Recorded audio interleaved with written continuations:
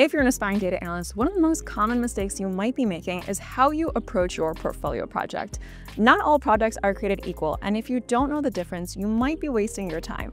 A lot of times people think that portfolio projects are all about the technical skills, but as a former hiring manager, I will tell you right now that that is only half the story. You might be wondering, how do I even find realistic data to work with in my portfolio projects? How do I even start tying everything together and know when my portfolio projects are good enough? And what are the industry best practices and standards that I should adhere to to make sure my portfolio project actually stands out in the job market?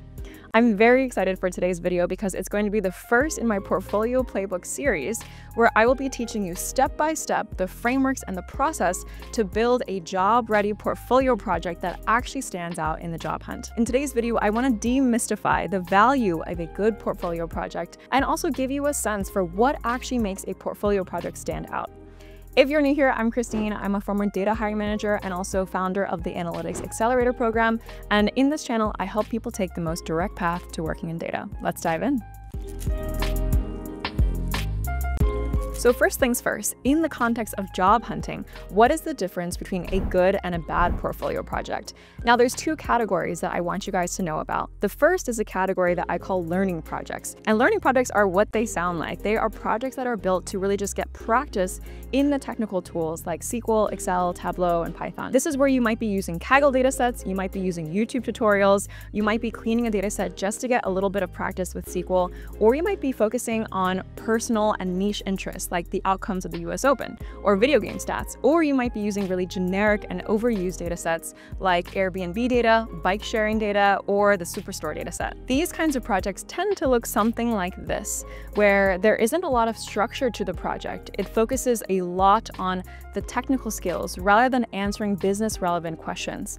And they don't really follow industry best practices of how to actually surface these insights. They're also not really packaged or polished in a way that looks really professional. The worst thing though is that they make you look like an amateur because a hiring manager sees this and actually thinks to themselves, this person is still learning. They're not actually ready for the job. The second category of projects is what I call showing projects. And these are projects that really closely mimic and replicate what you would be doing on the actual job, where you're translating numbers and data to real insights and recommendations that would be relevant to an actual team. They not only back up the fact that you have the technical skills, but more importantly, they show your domain knowledge, they show your structured thinking, they show your professional polish, and they even show your communication skills. These kinds of projects projects look something like this, and they show that you can do the day-to-day -day job, they give you confidence in interviews, and they can impress a hiring manager and your network. The main takeaway here is that as an aspiring data analyst, one of the biggest mistakes I see is presenting a learning project as if it's a showing project. So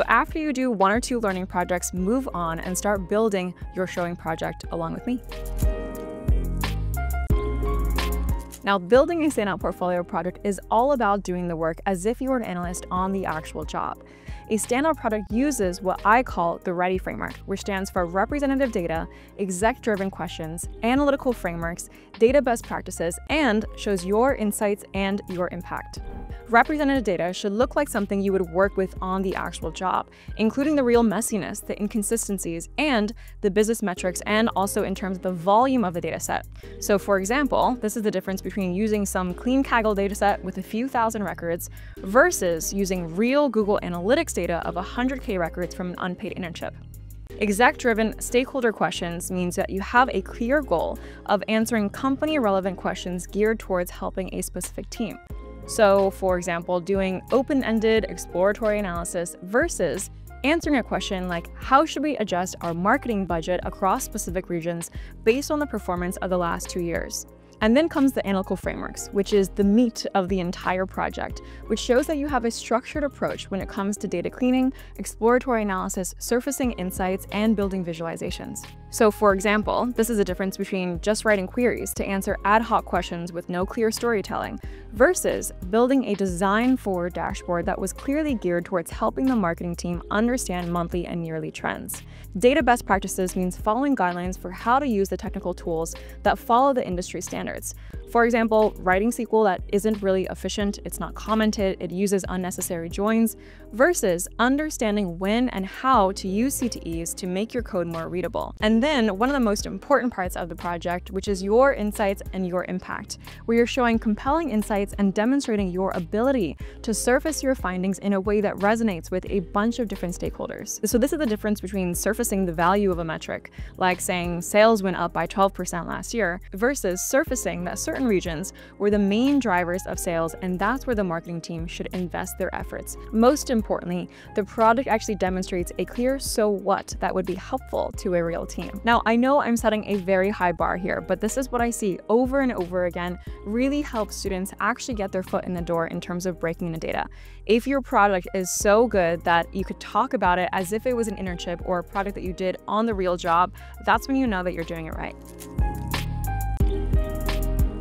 Now, one of the biggest values to a portfolio project of this level of rigor is not that it helps you get interviews, actually, it's that it helps you perform well in interviews. You want to be able to answer some of the most common data analyst interview questions, like tell me about a time that you bumped into a challenge or inconsistencies in your dataset. How did you overcome this, and what were the things that you learned? Or how do you make sure that your insights are understandable to a variety of different stakeholders, including non-technical people? One of the most classic ones that you want to prepare for is tell me about a time when you analyzed a large data set and you extracted insights. What were some of the more interesting things that you found and what was the process throughout this project? Another question is, have you ever built a dashboard for a non-technical stakeholder?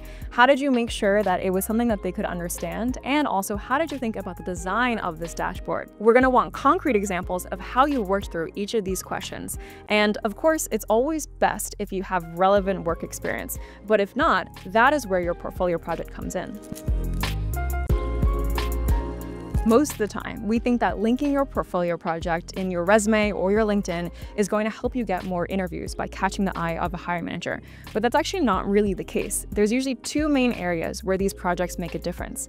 The first is actually in bolstering a hiring manager's confidence in you after you've had the interview.